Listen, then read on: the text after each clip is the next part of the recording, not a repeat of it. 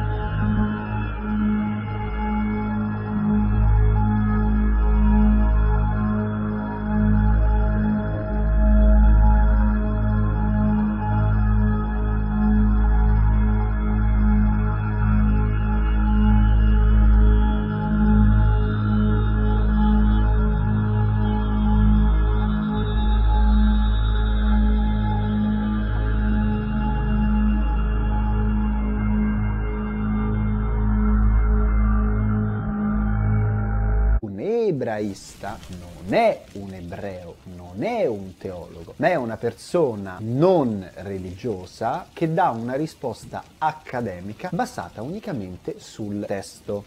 Quindi un'eventuale aggiunta teologica del concetto di spirito nella Bibbia è un'ipotesi che non ha nessuna credibilità.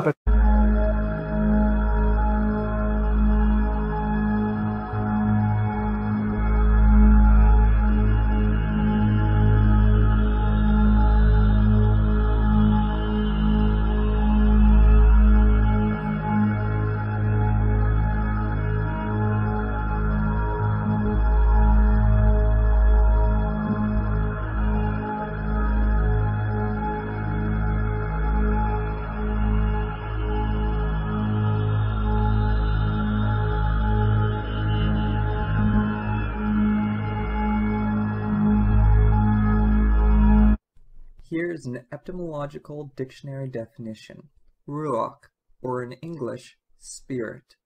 Now the dictionary defines this as to breathe, blow, to be wide, be spacious, to air, ventilate, space, interval, wind, breeze, air, breath, soul, spirit, side, quarter, courage.